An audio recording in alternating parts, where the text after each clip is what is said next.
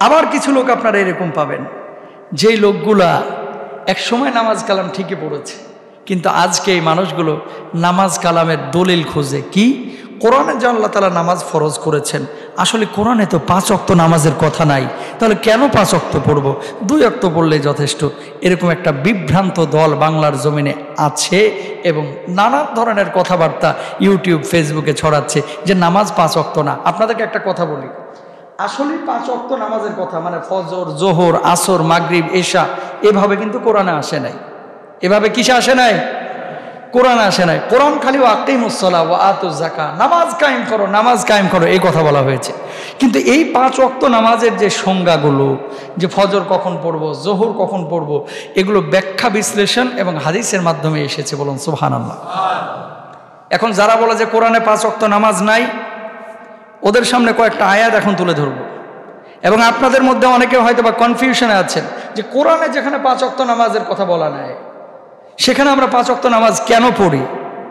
হাদিসের মধ্যে আসছে, কিন্তু কোরআনে নাই কেন? মিথ্যে কথা। কোরআনেও আছে। কোরআনের কোন জায়গায় আছে? ও খুঁজে পাওয়ার মতো মাথা আর চোখ আল্লাহ আপনারা দেয় নাই। কারণ কোরআন তো পড়েন না, খালি কোরআনটারে রমজান মাস আসলে চুমাচুমি করিয়া তারপর আস্তে করে উপরে উঠায় রাখেন। কিছু বদমাস এরকম বাইর হয়েছে যারা বলতেছে নামাজ দুই অক্ত এতদিন পরে যদি এই সমস্ত কথা বলে, আপনি কি মানবেন? মানবেন? নিশ্চিত রূপে এই সমস্ত মানুষগুলো মানুষের মধ্যে বিভ্রান্তি তৈরি করছে, ঠিক কিনা? এদের বিচার করা দরকার আছে না নাই? বাংলাদেশের আইন শৃঙ্খলা বাহিনী যারা আছেন, আপনার এলাকায় দু একটা এরকম থাকলে এগুলোকে আদর সোহাগ করে গিয়ে থানায় দিয়ে আসবেন। রাজি আছেন না ইনশাল্লাহ? সারা জীবন পাঁচ অক্ত নামাজ পড়লেন, এখন বলতেছে দুই অক্ত কারণ কোরআনে পাঁচ অক্ত নাই। দেখেন, কোরআনে আছে নাকি নাই, আমি আপনাদের সামনে একটা একটা করে তুলে ধরছি। প্রথমত হচ্ছে, আল্লাহ সুবাহান হুয়া তালা সুরায় রোমের সতেরো এবং আঠারো নম্বর আয়াতে কি বলছেন খেয়াল করেন। এই সবাই দেখান আল্লাহ রব্বুল আলমিন বলছেন হীন হিনা তুমসুনা ওয়াহিনা হ আল্লাহ রাব্বুল আলামিন বললেন, তোমরা আল্লাহর পবিত্রতা স্মরণ করো সন্ধ্যায় এবং সকালে। সুরার রুম, আয়াত নাম্বার সতেরো এবং আঠারো। সন্ধ্যা বলতে এখানে মাগরিবের নামাজ। আল্লাহ আকবর বলেন। সন্ধ্যা বলতে মাগরিব এবং এশার সলাদকে বোঝানো হয়েছে। কারণ মাগরিবের পরে এশার সলাতের সময় কিন্তু বেশি ডিস্টেন্স না গ্যাপ না, ঠিক না আর সকাল বলতে এখানে ফজরের সালাদকে বোঝানো হয়েছে। আল্লাহ আকবর বলেন। আল্লাহ তালা স্পষ্ট বলছেন, হেইনা তুম সুনা সন্ধ্যায় আর সকালে। তাহলে কয়টা নামাজ এখানে পাওয়া গেল? তিনটা, মাগরিব, এশা আর ফজর। যেখানে সরাসরি আল্লাহ রাসুল বলছেন কোরআনুল, এই হাদিসের মধ্যে, সেখানে এই নিয়ে কোনো প্রশ্নের সুযোগ আছে? যারা বলতেছে যে কোরআনে নামাজের কথা নাই, নামাজের কথা নাই মানে এভাবে ফজর, জোহর, আসর, মাগরিব, এশা, তারা এই আয়াতগুলো একটু মেহরবানি করে তাফসির খুলে দেখবেন।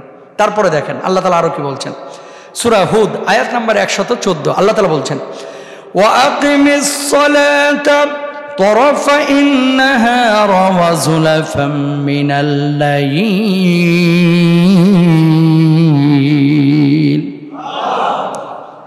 আর দুই, আর দিনের দুই প্রান্তে এবং রাতের কিছু অংশে সালাদ প্রতিষ্ঠা করো।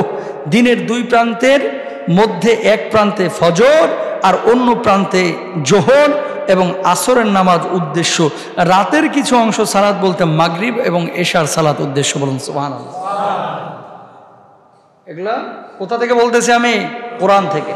তারপরে দেখেন, আরও আয়াতে আল্লাহ তালা কি বলছেন? এক, দুইটা আয়াত না, অনেক আয়াত আল্লাহ তালা নাজিল করেছে। আল্লাহ তালা আবার বলছেন, আল্লাহ রাব্বুল আলমিন বলেন সালাতা لدلوق الشمس إلى غسق الليل وقرآن الفجر إن قرآن الفجر كان مشهودا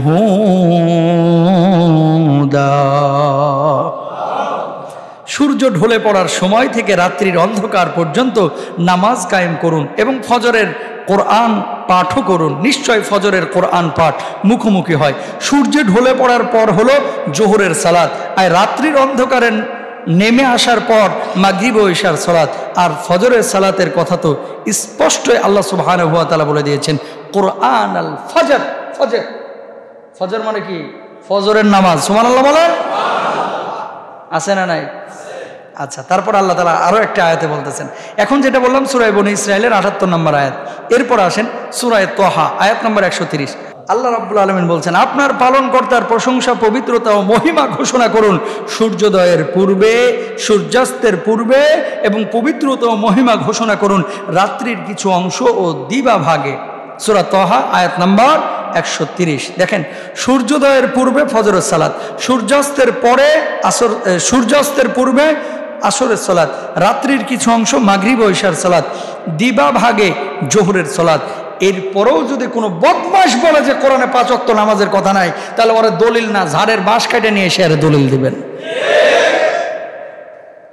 বুঝেন নাই কথা? ঠাডা পড়ে না কানের মধ্যে অনেক সময়, যতই দলিল দেন, ও বুঝে নাই। বুঝার চেষ্টাও নাই। কথা বুঝতে পেরেছেন? নামাজ কয়েক তো আরও জোরে বলেন। তা আপনারা যারা দুই অক্ত পড়েন সারা দিনে আপনারা কি হেই গ্রুপের নাকি? না, কয় হুজুর উদাসীন হয়ে পড়ি না, ভালো লাগে না মাঝে মাঝে। পাঁচ অক্ত পড়বেন না ইনশাল্লাহ? সবাই পড়বেন তো?